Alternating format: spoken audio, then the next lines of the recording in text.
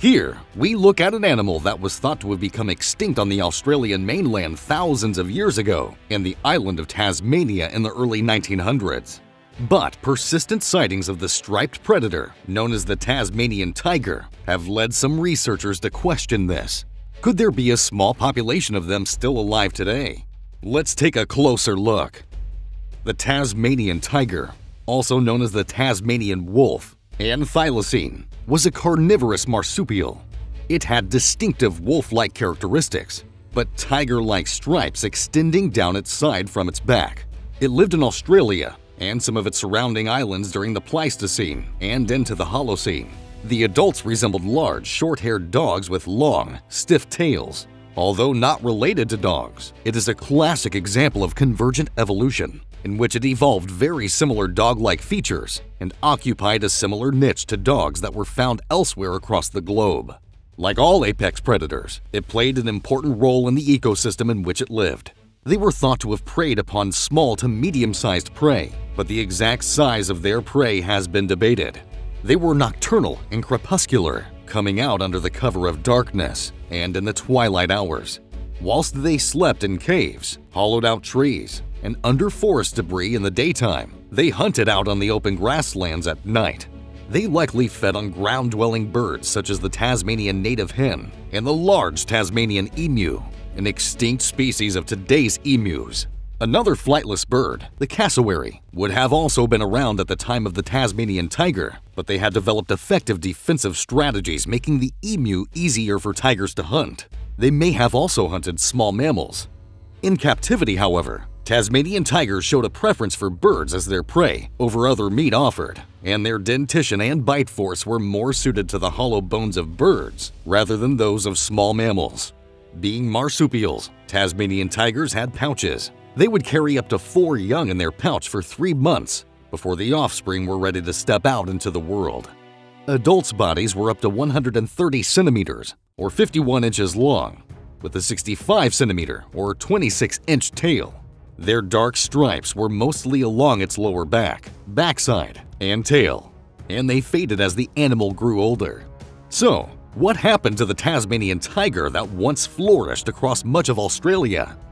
On the Australian mainland, it is thought that the dingo outcompeted the Tasmanian tiger for food. It was a more versatile hunter and had a more omnivorous diet, making it more flexible in terms of prey availability. The hyper-carnivorous Tasmanian tiger had no such flexibility in its diet preference. Furthermore, although its bite force was more powerful than that of the dingo, dingoes could take down large prey not only due to the formation of their skulls, but also due to their ability to hunt in packs. In comparison, the Tasmanian tiger was a solitary hunter. The Aborigines began to use dingoes as semi-domesticated dogs, which only encouraged their numbers and saw their populations grow, while the Tasmanian tiger seemed to have little advantage over their competitors. But the demise of the mainland Tasmanian tigers wasn't just down to the dingoes and native people. The genetic diversity of the tigers was very low. This made them vulnerable to not only diseases, but also environmental pressures as well. The Tasmanian tigers were known to be susceptible to facial tumor disease, like their relatives, today's Tasmanian devils. However, scientists don't think the low genetic diversity necessarily solely led to their demise. Recent DNA evidence suggests climate change played its part. They went from being widespread across Australia to extinct from the mainland over a relatively quick period. It is now believed that the most significant cause for this was changes in the climate caused by the El Nino Southern Oscillation pattern. So, it seems it was a combination of factors that led to the extinction of this fascinating animal on mainland Australia. From direct competition from dingoes, to the expansion of the Aborigines across their habitat, and the changing climate. But mainland Australia isn't where recent sightings of Tasmanian tigers have been made. People have claimed to seen glimpses of the so-called extinct animals on the island of Tasmania, famous for another carnivorous marsupial, the Tasmanian devil. The tigers weren't just native to mainland Australia, they were also endemic to New Guinea, as well as the Australian island state of Tasmania. Scientists know the exact date that this species became extinct. Tragically, on September 7, 1936, the last ever known live Tasmanian tiger, called Benjamin, died in captivity in the Beaumaris Zoo in Hobart. That date has now become a commemorative day in Australia called National Threatened Species Day. In fact, it was ironic that the Australian government finally gave the Tasmanian tiger protection status that very same year, just two months before Benjamin's death. This was perhaps a century or so too late. The day the captive individual died, reportedly of neglect, was a sad day in 1936 for zoologists and conservationists across the world to witness the extinction of an iconic animal, never to be seen again. Or was it never to be seen again? The combination of factors on the mainland that led to its extinction didn't happen on the islands, which is why the Tasmanian tigers survived another few years.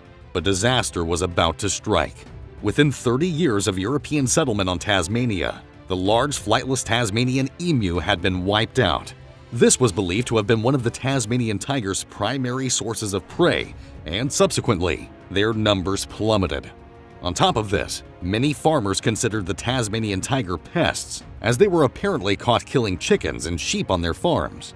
They earned a bad reputation as sheep killers, cold and ruthless. This has since been disputed because the jaws of the Tasmanian tigers were not thought to be strong enough to kill a sheep. Even so, bounty hunters and farmers alike relentlessly killed the animals, leading further to their demise. Europeans also brought with them dogs, which became feral. These dogs likely competed with the native Tasmanian tigers for food and territory, which probably added to their ultimate extinction. But is it possible that some small population managed to survive, hidden in the deepest parts of Tasmania, away from persecution and away from competition? Maybe. Or at least maybe they survived a lot longer than originally thought. Certainly, persisting in Tasmania into the last century, now, new evidence has been brought to light, which suggests some may have survived longer than originally reported, and there may even still be a small population alive today. Whilst most researchers believe that this cannot be true, as by now somebody would have at least come across a dead Tasmanian tiger at some point, there is mounting evidence that they may have survived in the wild far longer than the early 1900s. In a new study, Scientists evaluated more than 1,200 alleged sightings of Tasmanian tigers since 1910. They aimed to determine how long they survived in the wild based on these reports and new DNA analysis that has since been made possible.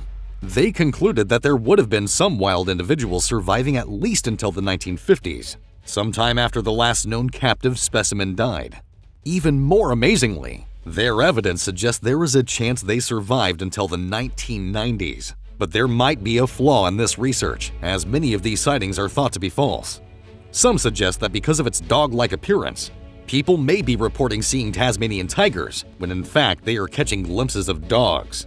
Either way, some scientists are focused on trying to bring the Tasmanian tiger back from extinction.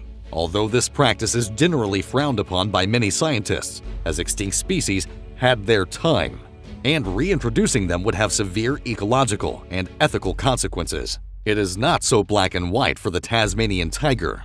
Andrew Pask at the University of Melbourne is an epigenetics professor and aims to use gene editing to resurrect the Tasmanian tiger. He and the other scientists, who founded the Thylacine Integrated Genomic Restoration Research Lab, argue that the species' extinction was a very recent extinction event driven by humans and their habitat and ecosystem still exist today. This means that relatively fresh DNA is available to them to use, and they may well still be thriving today had it not been for the introduction of humans into their habitats.